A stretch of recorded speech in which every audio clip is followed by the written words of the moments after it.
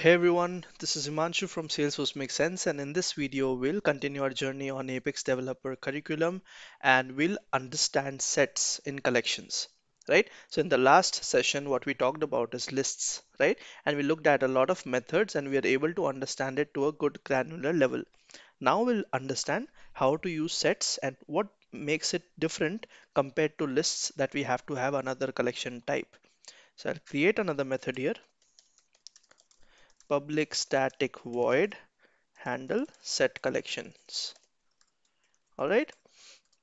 Now, if you know lists and if you understand them well, set is also very much similar. It's just that one or two things are different, but pretty much everything is same. There's only one difference between list and set. Set is unordered. Okay. And set does not hold duplicate values. Apart from this, everything else stays the same. You can just consider this uh, for now. List can hold duplicate values, correct? Your photo album can have two pictures from the same location. So that would be part of a list. All right. But that cannot be a set. A set always has to be a set of unique values. No duplicates allowed.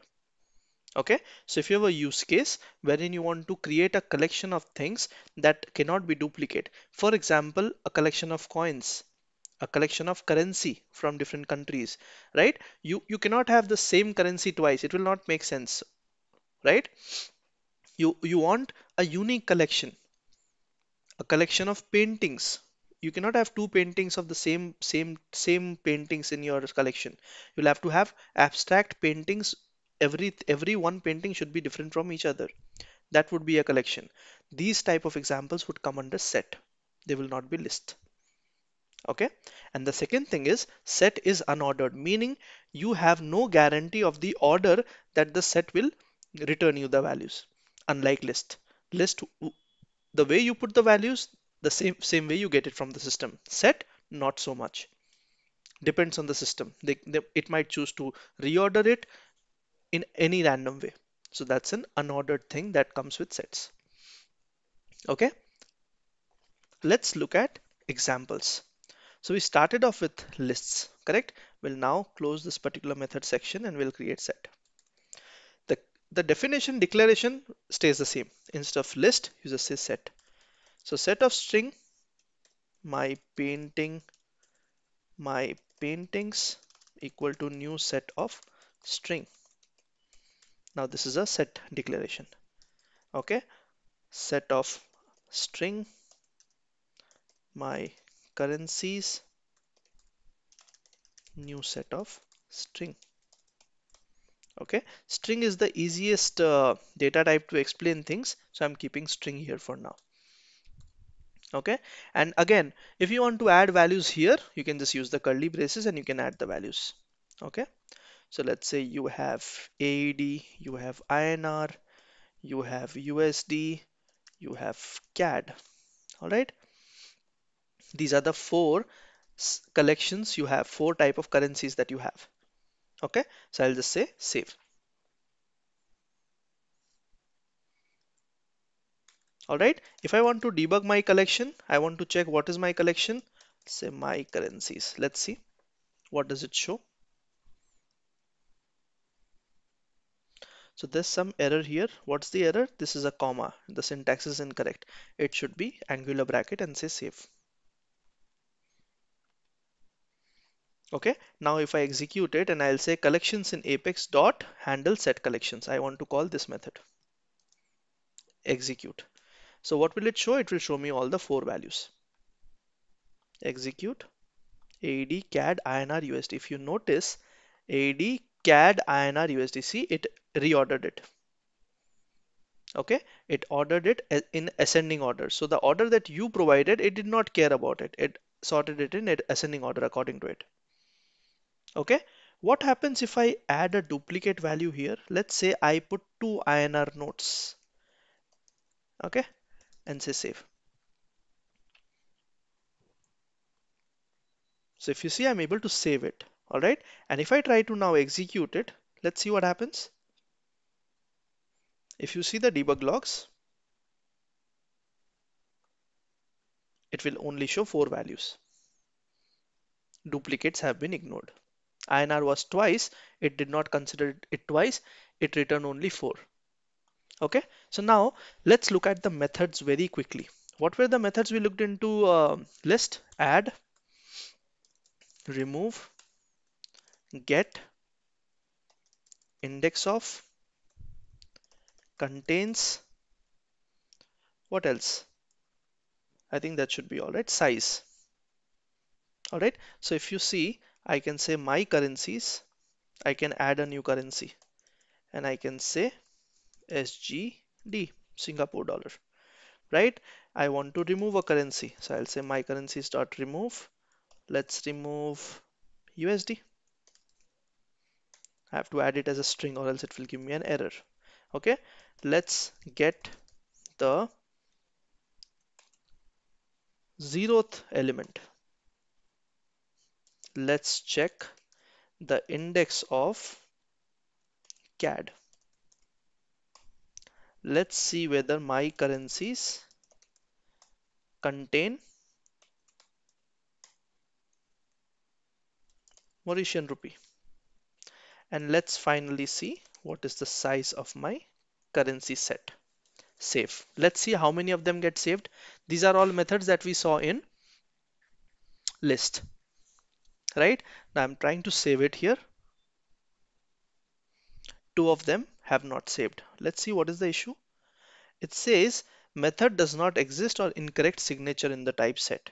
So if you take a look at the set class,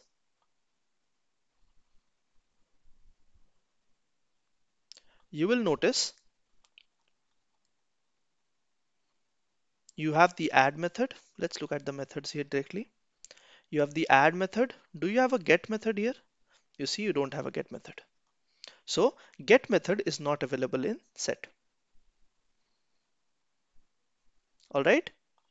You cannot get by index. Similarly, you cannot do an index of. Why? Because it's an unordered list. It will not be able to maintain the index. So there's no point of giving you the index information. So if we remove the two, uh, if you remove the two methods, you are able to save your file. Okay let's quickly system.debug it so that we see our result. I hope you are trying this on your own as well and you are writing it on your own.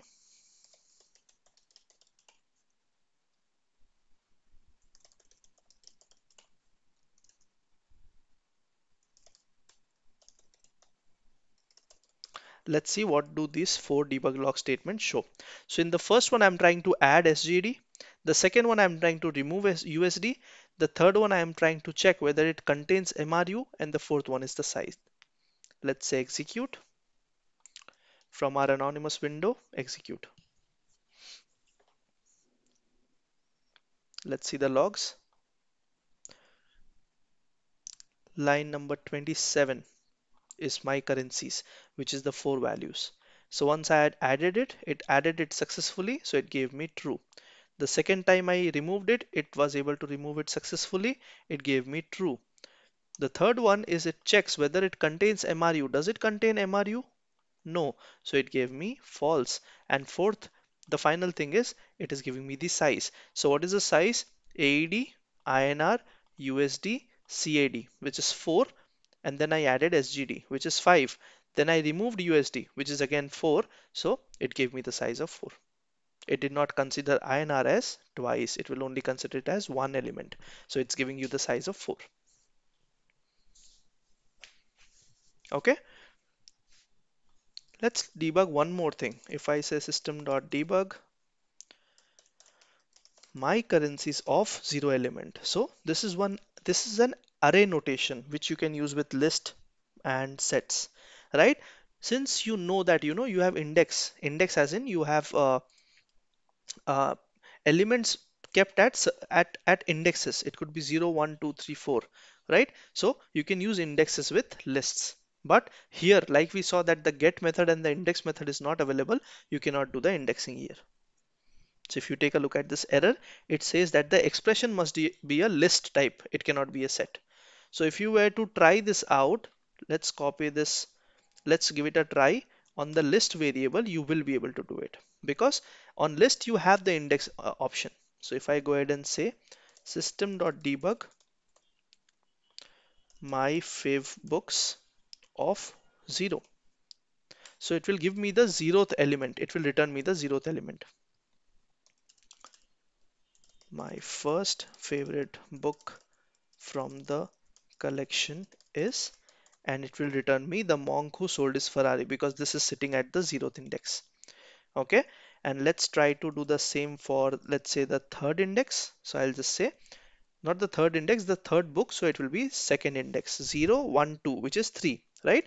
So always the index will be total element minus 1 so my third favorite book is my fav books of 2 let's see what does this 2 logs return I'll call this method again and I'll say execute debug only. So my first favorite book is The Monk Who Sold His Ferrari. The third favorite book is The Almanac of Ravi Ravikant. And it is saying, yeah, we have a book in common because I compared it with the Four Agreements book. Okay, so the first one is my favor of 0 and the third one is my favor of 2. So 0, 1, 2. 0, 1, 2. All right, and how am I accessing the elements? By saying within square brackets, I'm putting the index. All right. You can loop through these things. We'll, will understand loops right after we understand collections. I have not kept loops before because you need to know collections to be able to uh, understand loops a bit more effectively. Okay. Awesome. So can you do this on set? No. Indexing is always and only available for list types, not for set types. Okay, where will set come in handy? Like I said, wherein you need a unique collection of data.